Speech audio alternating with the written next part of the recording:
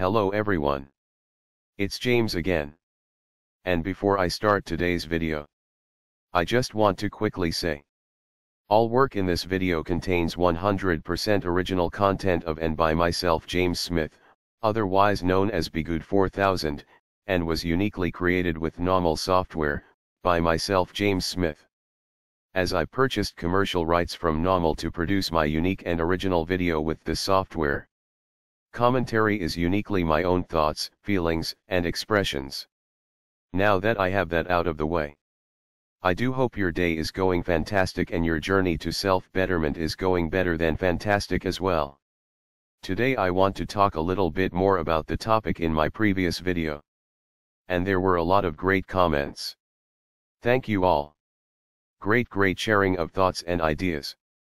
One person mentioned that the narcissist does what they do because it works. When we are talking about this circular talk and word salad.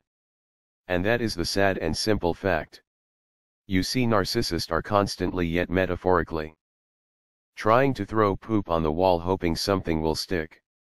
And every now and then depending on the conditions. The poop they throw at the wall metaphorically speaking sticks. For every 10 people they can get with their scams. There are a 2, 3, or 4 that will go along with their nonsense. Here's a popular one. Your new spouse of let's say 6 months. Out of the blue wants to go to a singles bar with their friends but states you have to stay home. Because they need so-called alone time. And up until this point it was just you and them. Except for meeting their family and a few of their close friends. You felt like you were building a life together.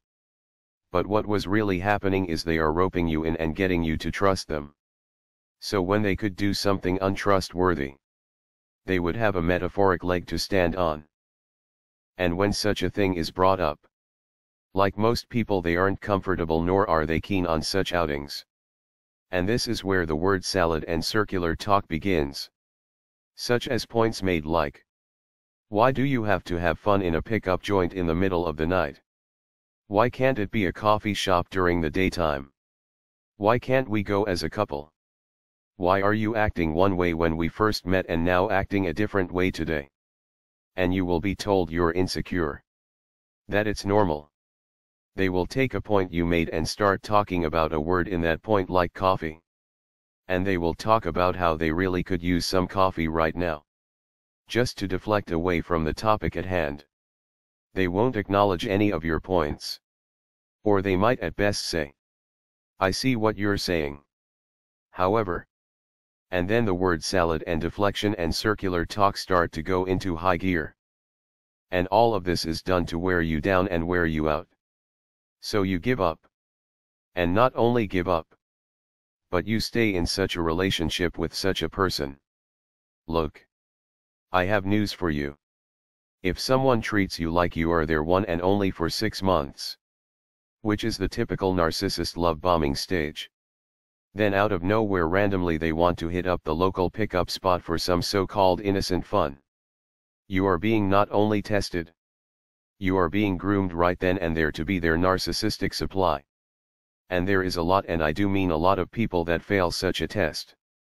Because the stay as they don't want to give up a relationship over what they are seeing as something fixable. Because in most cases, someone testing you like that isn't fixable at all. And it's a big big sign you are likely dealing with a toxic person that has an agenda. And you better believe if they can talk in circles about this topic. They know they have you right where they want you. And to make matters worse, they will purposely stay out longer than when they said they would come back home just so they can get into another endless debate with you while throwing more metaphoric poop against the wall. Just to see what you will put up with and to see if you will stick it out. And there are a lot of people that stay in such terrible treatment. Narcissist will talk in circles when you realize there is something wrong with them years later. And you try to confront them about their problems. Big mistake. And either you get the silent treatment.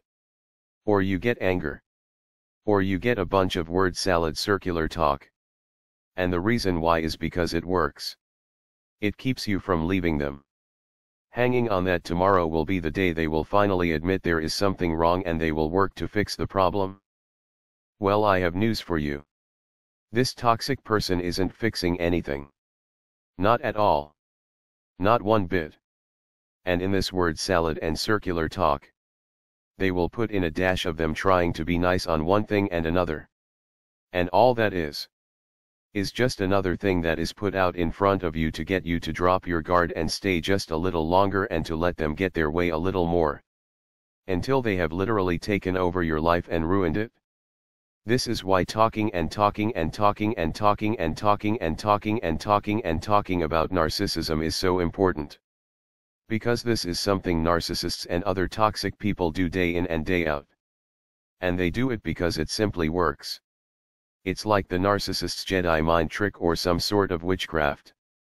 They keep going and going in this circular pattern until you get tired and mentally give up and give in to what it is they want. Stop. Stop and slow things down. Be prepared at all times to take your ball and go home. And the minute you see such behavior, it's better to not argue or even engage in such topics. But to slowly back away and out of this person's life. You will be likely saving yourself a lot of time and hassle by doing so. With that said, I do hope your day is blessed. And until next time. Bye for now and be good to yourself.